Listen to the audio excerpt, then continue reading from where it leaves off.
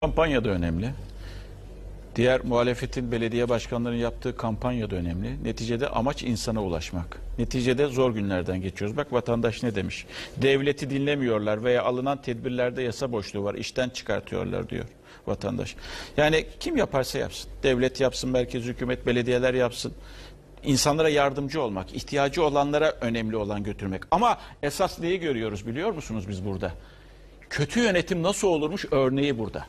Kötü yönetmek nasıl olurmuş bir ülkeyi örneği burada. Zamanındaki paraları çarçur ederek harcamak nasıl olurmuş? Kara gün düşünmeden ülke yönetmek nasıl olmuş örneği burada sevgili izleyenler.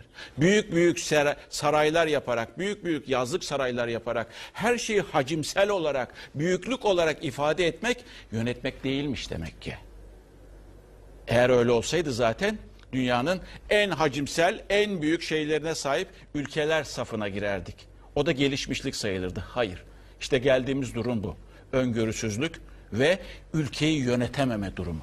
Ve şu aşamada bırakın artık lütfen partizanlığı, siyaseti, hesapları, e, işte bundan sonraki seçimler ne olur gibi gibi gibi gibi e, sorulara sormayı veya düşünceleri kim ne yapıyorsa yapsın. Yardıma ihtiyacımız var. Ülkenin insanların yardıma ihtiyacı var.